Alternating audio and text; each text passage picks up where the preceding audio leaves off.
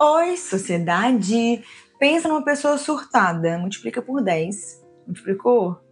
O resultado vai dar Letícia Secato, porque o caso daqui a duas semanas? Ou uma? Duas semanas? Oh, o casamento está chegando e eu aproveitei esse tema, esse enredo, esse momento da minha vida para trazer um conteúdo sobre como devemos nos vestir para um casamento em 2024? Essa é a pergunta que eu mais recebo no meu Instagram. Lê, eu tenho um casamento e eu quero me vestir bem. Como é que eu faço? Quando eu falo de madrinha, quando eu falo de convidada, sempre aparecem essas perguntas.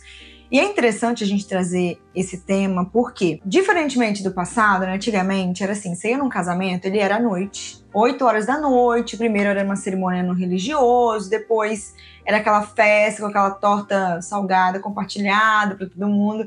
E olha que as festas, elas nem eram tão formais quanto hoje, né? Elas eram, eram mais simples, pelo menos na minha época e na minha realidade. E parecia que as pessoas se importavam muito mais com o vestimento do que hoje. Por quê? Dois motivos. Primeiro motivo, Hoje as pessoas casam de dia. E aí os convidados, eles criam alguma coisa na cabeça de que o casamento de dia, ele tem um grau de formalidade que não é formal. Isso não é verdade.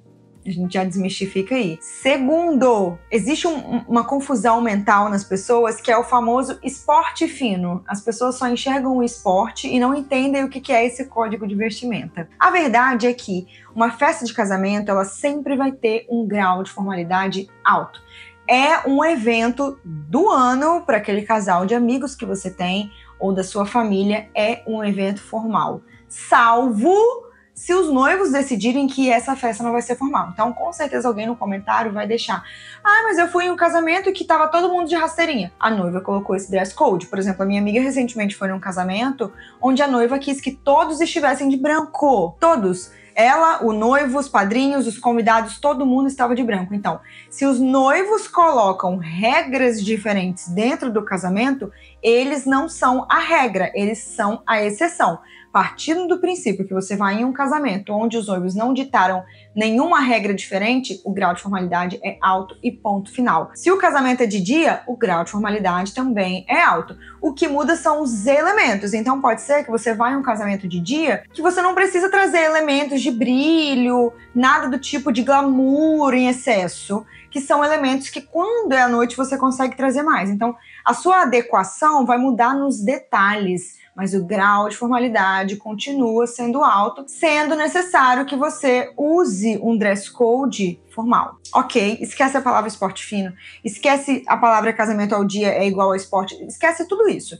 Se os noivos não ditaram isso como regra, não será assim. E como eu vou casar, eu me peguei nesse questionamento, né? Porque todas as minhas amigas estão casando, eu e Marcos, meu noivo, barra marido, é, estamos vindo de muitos casamentos. E a gente repara o quanto as pessoas se vestem mal.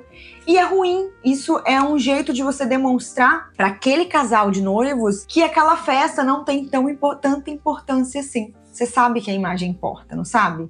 Quando você não se veste à altura de um evento, significa que você não entendeu que aquele evento era a altura que era. Óbvio, evidente, sempre vai ter alguém sem noção, algum convidado sem noção, enfim, homens principalmente, é o que você mais vê, sem noção, em casamento. Mas se a maioria for assim, acaba sendo uma ofensa para os noivos. Então vou, vou, te dar sugestões de looks, tanto feminino quanto masculinos, para você que tem esposo, porque as mulheres precisam entrar nesse circuito.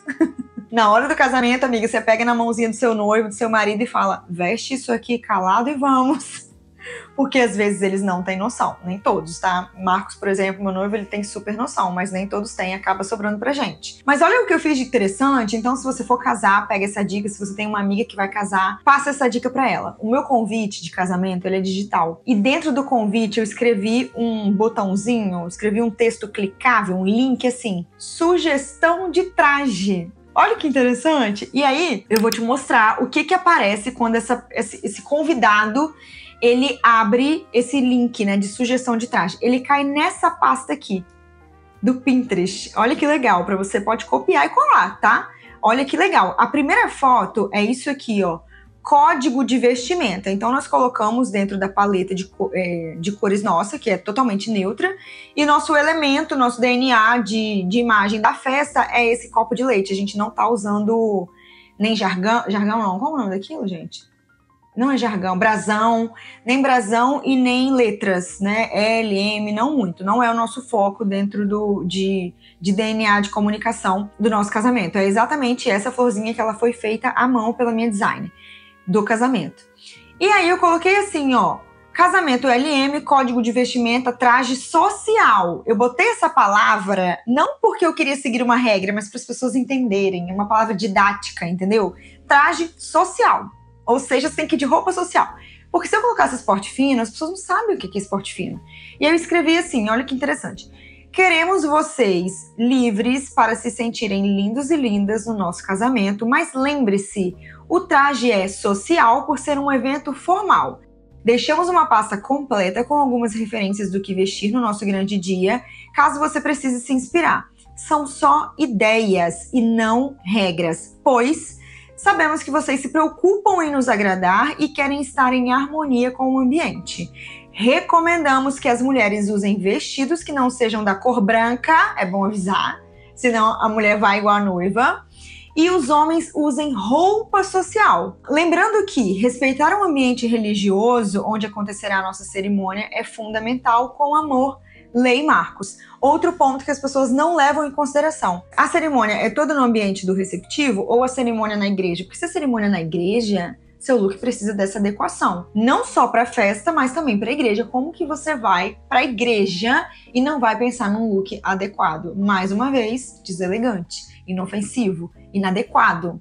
Por isso a gente colocou esse reforço. E quando a gente fala de look, a gente trouxe sugestões em todos os tipos de corpos, de vários modelos para as pessoas entenderem. É claro que é uma inspiração, né? Você não vai copiar e colar, até porque se fosse copiar essa moça aqui, eu ia falar: olha, tira um pouquinho de fenda, que tá com muita fenda. Mas é a ideia, a ideia por trás do que usar. Então, o que você vai usar num casamento? Um vestido elegante. Deixa eu ir passando para vocês verem, porque. Ai, eu não sei se tem como eu ir pro lado olha, esse vestido super comum, vestido comum, não tem nada demais, mas ele tá dentro sim da proposta do casamento. Um vestido acetinado, eu trouxe referências, se você olhar bem, que eles vão mais pro longo e pro mid, por conta do, do, do grau de formalidade mesmo do meu casamento. Olha esse aqui que lindo. E aí eu procurei trazer também todas as idades, todos os corpos, para as pessoas se identificarem. Ó, um, um verde escuro, quase um pretinho, aveludado. Trouxe duplinhas, tá vendo? Por exemplo, mãe e filha. Trouxe dois tipos de vestido. E tudo isso, amiga, eu peguei no Pinterest. Fui salvando nessa pastinha. E essa pasta aqui de código de vestimenta, eu simplesmente upei do meu computador mesmo. Olha, um vestido comum, mas super adequado. Temos vestido vermelho. Olha só, tá vendo que essa moça é uma senhora? Então, sei lá, tem aquela tia que não sabe o que vestir, ou sua mãe está confusa no que vestir. Isso ajuda muito e começa a clarear dentro de intenção de imagem para o que você vai usar no casamento. Olha aqui um casal, tá vendo que ele tá com blazer, calça, sapato social, camisa de botão e não está com gravata? Justamente porque para a pessoa entender que não precisa. Se ela não quiser usar gravata, ela não precisa usar. Olha aqui.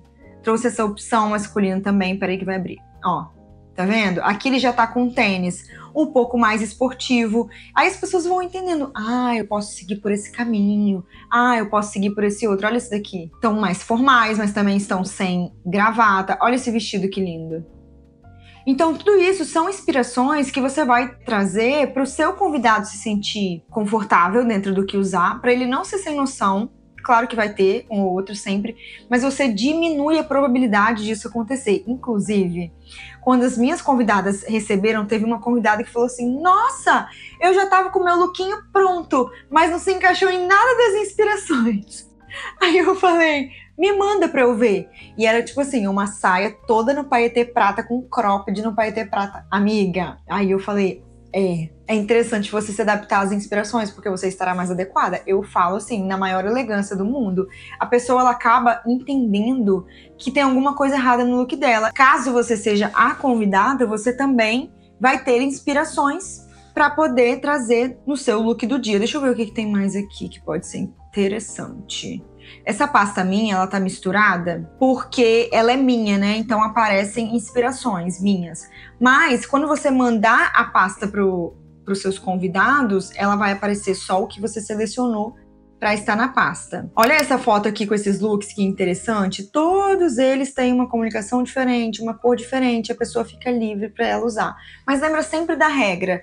Tem um casamento para ir? Opa, grau de formalidade alto. A noiva não disse nada sobre dress code ou sobre ser diferente, sobre ser casual. Então, tirando a cor branca, eu vou pensar em um vestido formal. Se a cerimônia for na igreja, eu preciso trazer essa adequação. Então, eu vou evitar decote cavado, fenda exagerada, decote demais, pele à mostra demais em respeito à religião.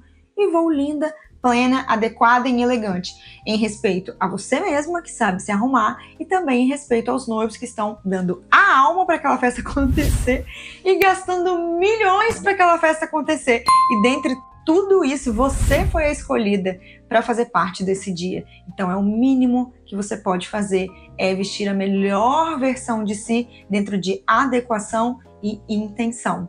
Um beijo. Tchau.